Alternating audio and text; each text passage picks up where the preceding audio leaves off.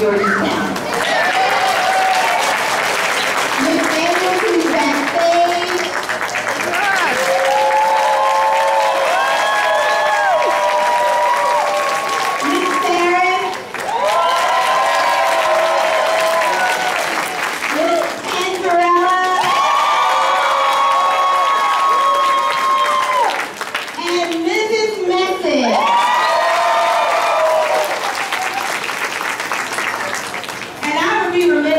remiss if I didn't mention Ms. Dawkins. She has been assisting kindergarten, pre-K, first grade all year long.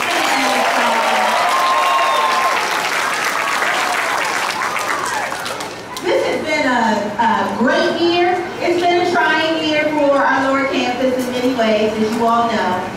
Um, it was so nice to hear the kids end with the Addams family, even though they said the kindergarten class, uh, because I just increased my family. I am now the grandmother of two twin boys. Uh, so I'm very, very excited.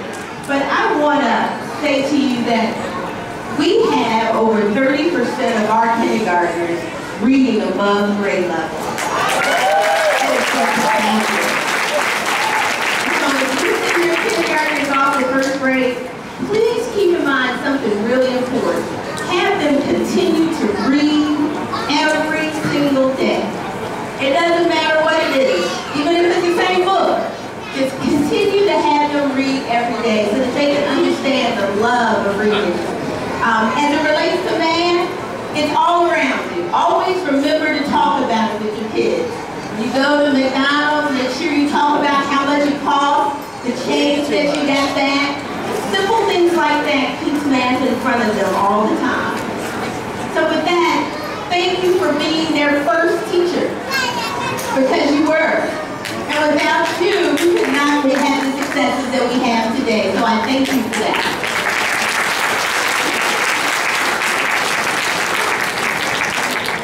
And I'd like to introduce Ms. Messick one last time. She is our grade level chair, and she does so much for our kindergartners. I thought that I work long hours, you can see me anytime, but Ms. Messick is here right alongside. So Ms. Messick, thank you for everything you do.